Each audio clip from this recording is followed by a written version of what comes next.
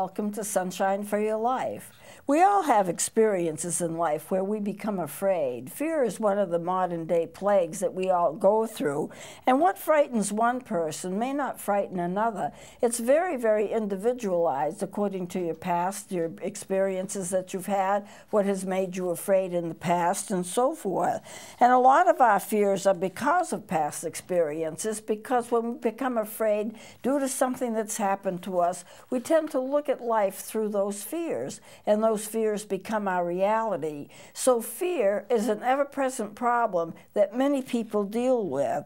Well, a while ago, I had oral surgery, and it shouldn't have been a big deal. I was just going to have a tooth removed, but I'm on blood thinners, and whenever you have bleeding involved, a person like me can get into trouble. Well, I didn't, I wasn't afraid of it. You know, that wasn't a problem to me. My dentist knew what was going on, and he knew I was on blood thinners, so it wasn't a problem. And then my sister said to me, What if a piece of the tooth drops down your throat? Then will you choke? And then what will they do?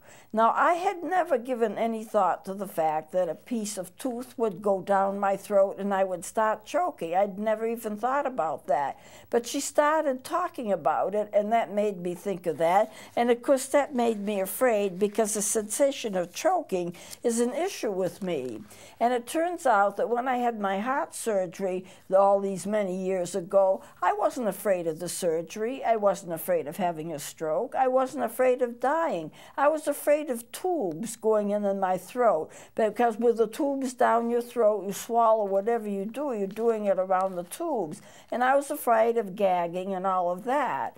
But as it turned out, I really didn't have a problem with it. Well, getting back to the oral surgery, it went very, very well, and I had no problem at all. And when I talked to the dentist about my fear of dentistry and all of that, he says, Well, let's just talk about that, and let me take a look at what's going on in your mouth. So he's jabbering away, and within with less than a minute, he said, "Oh, by the way, I just took out your tooth. It's gone." And I was just so terribly pleased. It was so easy. I had absolutely no trouble, and it was just unbelievable how easy it was. He started talking, the tooth was gone, I didn't even know it. He says, It's all over with. You're all finished. And of course, they have to pack your mouth, and I bled and all of that. But the thing is, it was a very easy procedure for me to go through. Now, sometimes we become afraid of things that we don't need to become afraid of because God has already taken care of it. I want to read a verse from John 14 27. This will be the first verse, and this is what it says. I'm going to read part of it, and then I'm going to read the, all, all of it in just a second here says, Do not let your heart be troubled and do not be afraid. Now, the whole thing reads this way. It's a little longer than what's on the screen. Peace I leave with you, my peace I give to you. I do not give to you as the world gives. Do not let your heart be troubled, and do not be afraid. Let me read that whole thing again. Peace I leave with you, my peace I give to you. I do not give to you as the world gives. Do not let your heart be troubled, and do not be afraid. Well, we learn from this verse that there are things that we can do to help us if we are afraid and if we are in a bad situation. And the first thing that we do is that we can decide not to be afraid. Because the Bible says, do not let your heart be afraid. That means it's a decision on our part, and we can say no to fear. Now, I understand that in certain anxiety disorders that people have, because I've counseled a lot of people with anxiety disorders, that they have fears and they just can't necessarily stop it from coming. But this is the first step they can take. I'm not going to be afraid. I'm going to give it to God. I, I don't have to be afraid because God's got this already, and it's a decision that you make. Now, it may be a while before you actually sense that peace that God will give you, but you can start by making that decision. The anxiety and the nervousness can be very extreme if you have a problem, because what happens is that when you have something happen to you, You don't know what's going to happen. You don't know what the outcome's going to be, and so you feel out of control. We tend to be fearful if we fear that we don't have control over a situation because we don't know what an outcome is going to be. If we think we have control over a situation, then we are less fearful because we think we know what the outcome is going to be. We can imagine the outcome, so therefore we have less fear if we think we're in control, more fear if we think we're out of control. But the problem is there are so many things in life you can't control, and even if you think think you have control. You really don't over many things. So we tend to be anxious and nervous when you feel we have no control. And the fear from this can be very, very profound indeed. But the verse that I just read, John 14, 27, says, Do not let your heart be troubled, neither let it be afraid. It's as if you have a choice. And your choice is, I'm going to trust God and I'm not going to let this fear overtake me. Now, as a counselor, we do know that fear is a terrible thing and that it, it uh, comes upon us sometimes out of the blue. PTSD sometimes comes upon us out of the blue, and we don't have a whole lot of control over it. But if we make a decision to trust God, and trust is a decision, that can cut the anxiety a lot because we realize God's going to take care of it and we don't have to worry about it.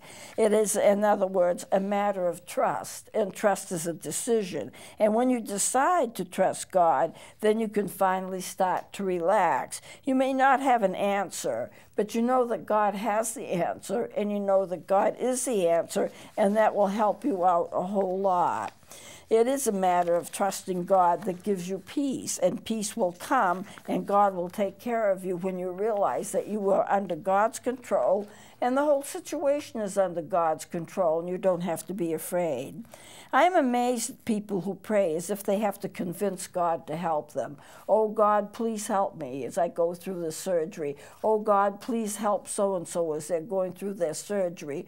Well, God never said He was leaving, and God never said He wouldn't help. So instead of asking God to do what He's going to do anyway, be with you, stay with you, because the Bible says that He will never leave you nor forsake you, we should instead pray to God and thank Him because He's going to do as He says He's going to do. He is going to be with us. I don't have to ask Him to be with me. I need to thank Him because He's going to be with me because this is part of a promise in the Scripture. You know, it's like asking water to be wet. Who would ask water to be wet? It is wet. That's its nature. So I don't have to worry, oh God, please send me water that's wet. Well, it's going to be wet. That's what it is. God is love. God takes care of us. This is who He is. This is what He does. And so, because that's true, if we thank Him for it and just relish the fact that it is true, we'll have a lot less anxiety than if we keep asking Him to do what He's going to do anyway. So, we should, we should thank Him for what He is and what He does, and that will help us to have peace. Now, I'm going to read a scripture that's not on the screen, uh, but it'll be Philippians 4 6 and 7, and I'm going to read it twice, but it is a little longer, so I'm not going to put it up on the screen. And this is what it says. Excuse me. Do not be anxious about anything, but in everything by prayer and petition with thanksgiving present your requests to God, and the peace of God which transcends all understanding will guard your heart and your minds in Christ Jesus. Now, I am going to read that again, and then I'm going to kind of dissect it for you so you know what it really says. Do not be anxious about anything, but in everything by prayer and petition with thanksgiving, present your requests to God, and the peace of God, which transcends all understanding, will guard your heart and your mind in Christ Jesus. Now, if you take that scripture, and you kind of look at it line by line by line, what is it really telling you? Well, make your decision not to fear. It is an intellectual decision on your part. So it says, do not be anxious. In other words, make your decision not to be anxious. But in everything, pray in detail what your situation is to God with thanks, because you know He's going to intervene and you know He's going to answer. Then the peace of God will be greater than anything that you can imagine. The King James says it passes understanding.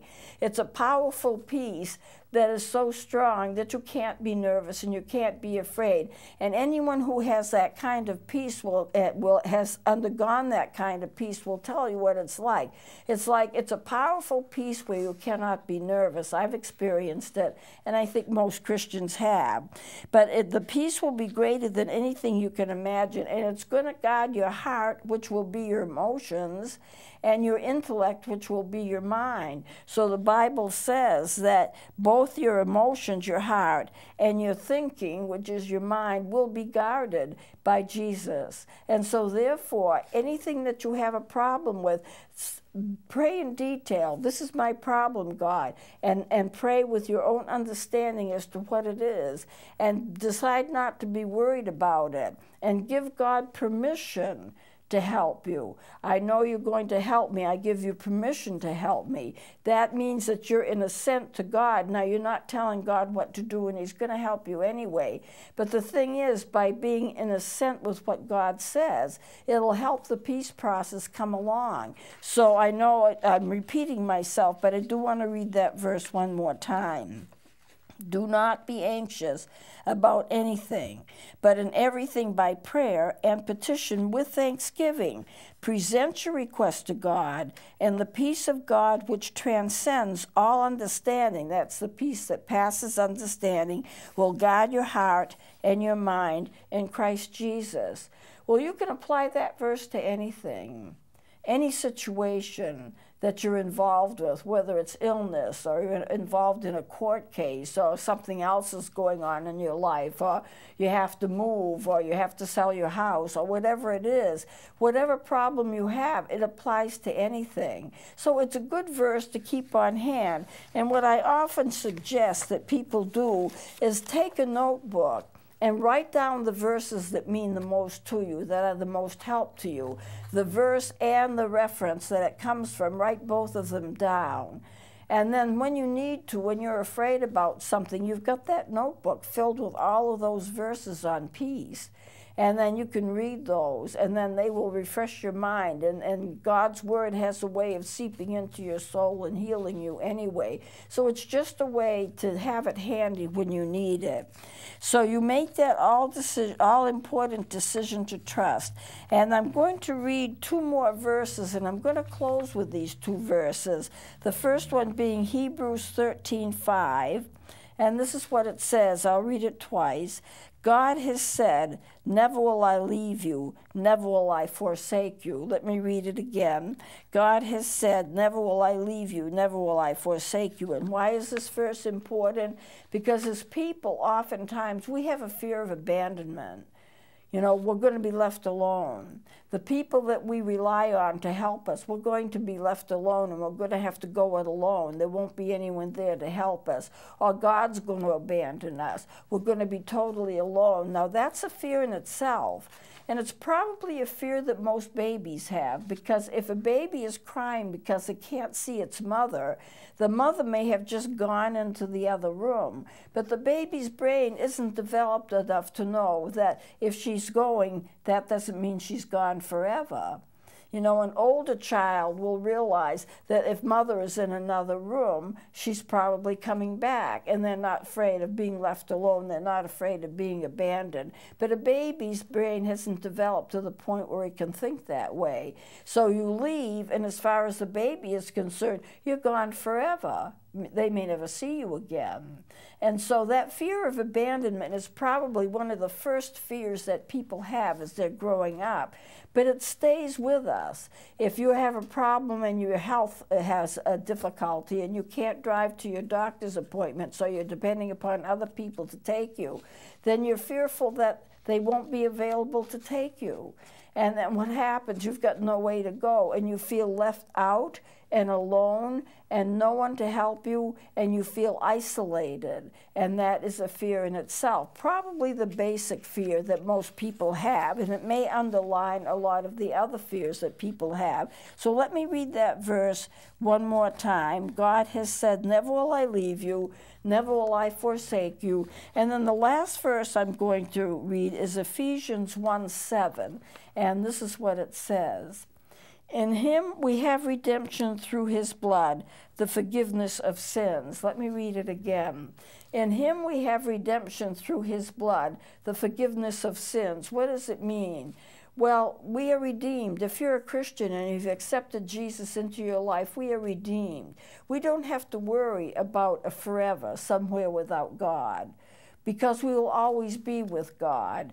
And that gives us a sense of peace anyway, to know that we've been redeemed, to know that our sins have been forgiven, to know that God will never leave us or forsake us, to know that we'll never be alone that will give us a sense of peace. So I really think it's important to understand that verse, although it's not specifically geared for peace, knowing that you are redeemed will also give you peace. So uh, we just need to understand that you're never alone if you're a Christian. If you're not a Christian, it's easy enough to become one. Just ask Jesus into your heart as, as Lord and Savior in prayer.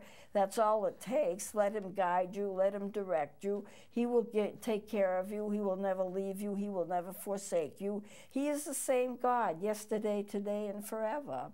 So you really don't have to worry about being left alone or being abandoned because God is going to be with you all the way.